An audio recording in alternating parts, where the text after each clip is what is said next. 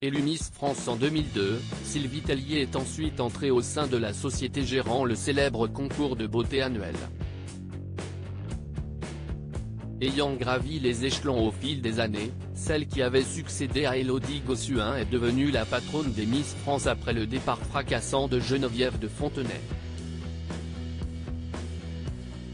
Durant de nombreuses années, Sylvie Tellier a dirigé d'une main de maître la cérémonie Miss France, qui est diffusée en direct chaque année sur TF1 depuis 1996. Cette aventure a cependant pris fin en 2022, puisque Sylvie Tellier a laissé sa place de directrice générale de la société Miss France à Synodie Fabre, élue Miss France en 2005. L'ancienne reine de beauté a fait ses adieux au concours lors de la cérémonie de Miss France 2023, qu'elle a présentée pour la dernière fois en compagnie de Jean-Pierre Foucault. Depuis, l'avenir de Sylvie Tellier est centre de nombreuses interrogations. Selon une rumeur persistante, l'ancienne patronne des Miss France serait destinée à prendre la présidence du jury de Mister Universel France. Une information que la principale intéressée s'est empressée de démentir sur son compte Instagram vendredi 20 janvier 2023.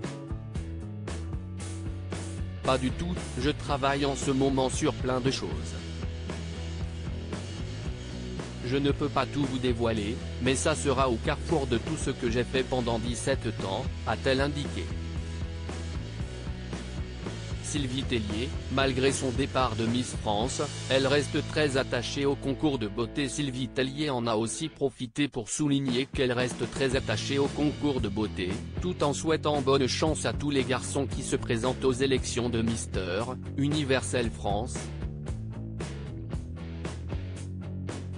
Faites-nous rêver, il n'y en a pas que pour les femmes, après tout, donc, bon courage à vous tous. Je les embrasse bien fort, a-t-elle finalement conclu. Questionnée par Nice Matin sur son départ de la société Miss France, Sylvie Tellier s'était livrée sans concession. Je n'aille pas de baby blues, car j'avais annoncé mon départ en septembre. J'ai eu plusieurs mois pour me faire à l'idée. J'avais envie d'autre chose, de me lancer d'autres défis, comme être ambassadrice de la France, qui est un pays fantastique, avait-elle affirmé.